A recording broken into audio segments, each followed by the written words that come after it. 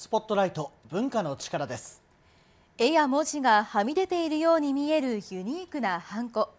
見た人を笑顔にさせるハンコ職人のこだわりの技術に迫ります。横手市にある明治43年創業の老舗ハンコ店堀内陰謀です。3代目の店主となる堀内元也さんは市内の高校を卒業後秋田市内で会社勤めをしていましたが20代後半に上京。ハンコ店で数年修行を積んだ後現在の店を継ぎました。堀内陰謀ではハンコ一つ一つを丁寧に手彫りで仕上げています。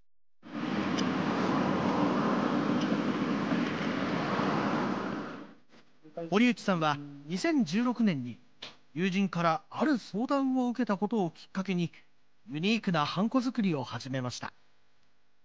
猫の顔の入ったハンコ作れるって言われてそれで作ったで描いてるうちにこう手が枠からはみ出てたらちょっと可愛いかなと思ってそれで彫ってみたらなかなかいい出来だったんでそれでそれで渡したらすごい喜んでくれて。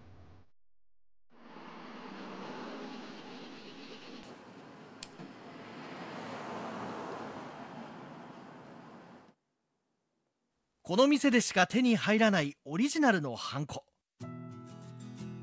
その名もはみ出た印です。はみ出た印は文字やイラストを通常より一回り小さく彫って余白を設けることではみ出るデザインが可能になりました。可愛らしいハンコの噂はすぐに広がりこの店の人気商品に成長しました。堀内さんが考えたデザインは動物や食べ物など様々でその数およそ1500種類。中には2つのハンコを組み合わせて使うことで1つの図柄となる珍しいものや構想3年以上という100人一首シリーズもあります。どれも堀内さんのきめ細かな技術が感じられます。これらは全て認め印や銀行印としても使用できるそうです。オリジナルハンコのはみ出たい。作る際のポイントは？だんだん、うん、絵柄が細かくなっちゃってきて、うん、どんどん細かくなってる。んで、まあ、そこが そこがちょっと大変かなって。あとやっぱり文字とのバランスですね。ね、あの絵が大きすぎると。字が肝心の名前が見えなかったりするとダメなんでそこのバランス、うん、文字と絵とバランス、うん、そこ。